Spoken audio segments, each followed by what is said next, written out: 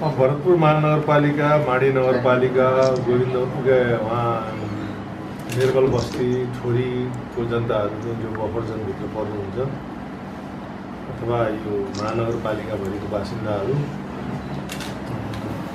माडी जान र माडीका जनताहरू यता आउँदाखेरि कहीँ पनि शुल्क लाग्यो मैले त ठेक्का छोडेको त करिब अहिले दस वर्ष जति हो तर यो ढाँट्न छोड्ने काम चाहिँ उहाँले गरिदिनु भयो भन्थ्यो बरु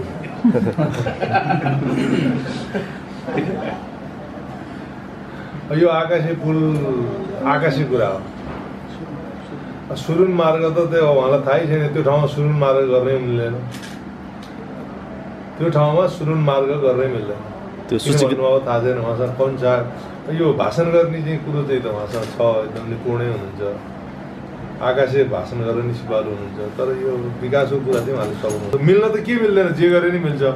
त्यति चाहिँ सुरुन मार्ग गर्नलाई चाहिँ धेरै वर्ष लाग्छ र चितवन चितवनमा मात्रै होइन यो नारायणी अञ्चलमै सम्पूर्ण विकास गर्न पुग्छ त्यति बजेट राप्तीबाट त्यो जङ्गल तुरुन्तै मैले पिच गराउँदैछु। अब उहाँले सुरुन मार्ग गर्नुहुन्छ नि म पिच चाहिँ पहिले नै गरिदिन्छु एक वर्षभित्र।